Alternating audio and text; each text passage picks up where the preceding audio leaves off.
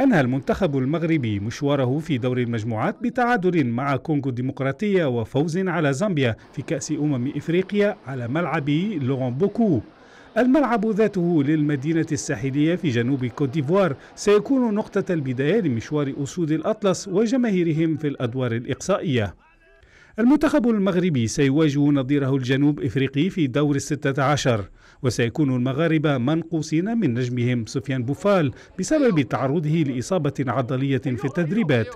كما يبدو أن غياب النجم حكيم زياش محتملا بسبب عدم تعافيه من إصابة في الكاحل تعرض لها في المباراة ضد زامبيا. غيابان قد يؤثران على تشكيلة المدرب وليد الركراكي Là, on sait que نعلم أن أي نتيجة سلبية ستعيدنا إلى الديار. لدينا الخبرة من المسابقات الأخيرة وكأس العالم للعب هذا النوع من المباريات.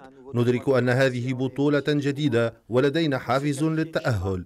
يجب أن نكون متواضعين ونلعب بكل قوتنا إذا أردنا الوصول إلى ربع النهائي. لكننا نعلم أنها ستكون مباراة صعبة للغاية. يبقى المنتخب المغربي مرشحا فوق العادة للذهاب بعيدا في النسخة الحالية من أمم إفريقيا وحتى للتتويج بلقبها فهو يملك مجموعة غنية باللاعبين المميزين فنيا ويمكن للبدلاء صنع الفارق بالإضافة لروح الفريق العالية. نشوفوا إحنا دابا فتنا دور المجموعات الآن التركيز كله على المقابلة اللي جاية ديال غدا إن شاء الله. الدراري إحنا واعيين بالمسؤولية اللي علينا. كنتمنوا إن شاء الله نكونوا عند حسن ظن الجمهور المغربي ونحققوا التاهل إن شاء الله مجموعين.